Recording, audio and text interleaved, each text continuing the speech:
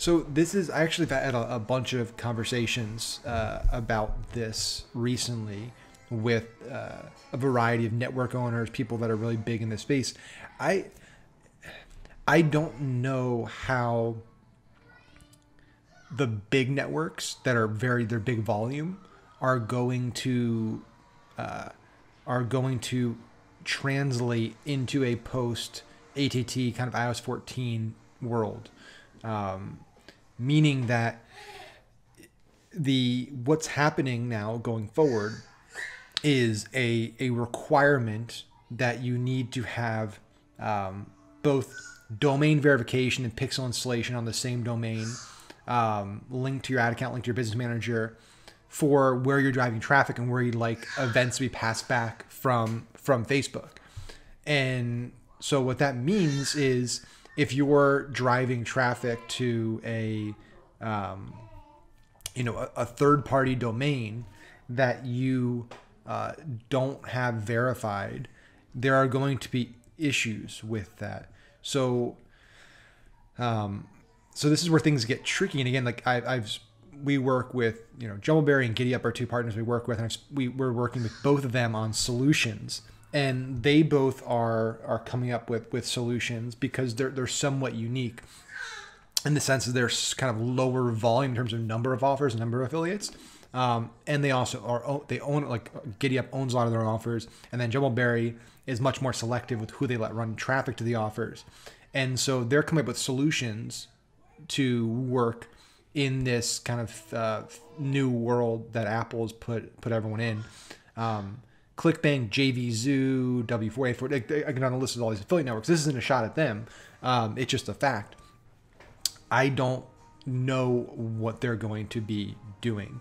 Um, I actually were doing uh, training with ClickBank, and I, am speaking with them, so I actually probably have should have this conversation with them and, and talk more about it with them. Um, but as of right now, um, I'd imagine one of the issues tracking wise is that is that like even if you have your own authority site that you have verified, and that's where you're driving the traffic to, but then the traffic clicks through to whatever the ClickBank offer page is, and you have that pixeled, but you don't have that domain verified, um, you're you're not going to be able to uh, pull that data back in. So I don't know if that's the, the problem that you're encountering now. It could be there. It's hard to say without seeing your ad account and seeing the setup and everything um, what the the issue is.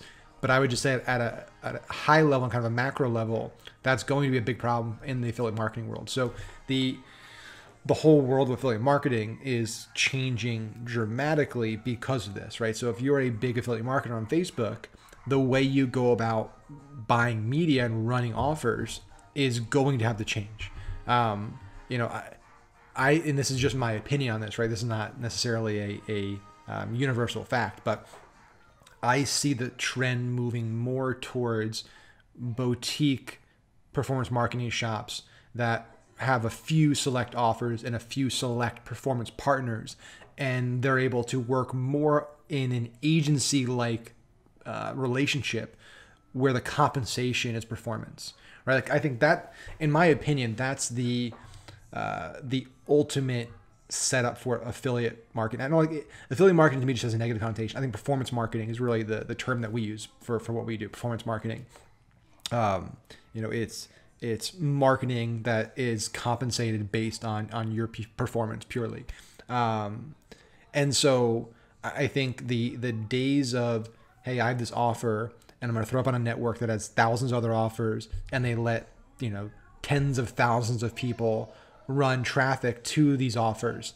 I just don't see that again it, it may exist forever, but I don't see that being a a massive um, a massive profit generator for a lot of people in, in the future because of these changes, because it makes tracking really, really difficult. Now, sure, you can obviously track on the back end. You can use your own tracking software and you can you can see the data on the back end and you can use sub IDs, UTMs to understand at an ad level, ads level, campaign level where that sale came from. But if you're spending five, ten, twenty thousand dollars a day right?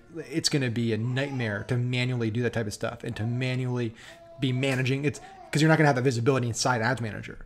Um, and then using rules and stuff, you're going to need to use r- rules built into these ad tracking platforms. So it, I just don't be, see it being super scalable. Now, what we're doing is, you know, for Jumbleberry, for example, um, you know, there's three or four performance partners who work on these different big offers.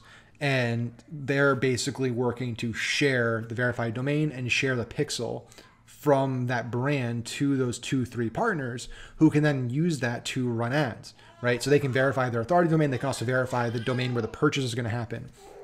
And, um, and that allows them to, allows us to have visibility on the data.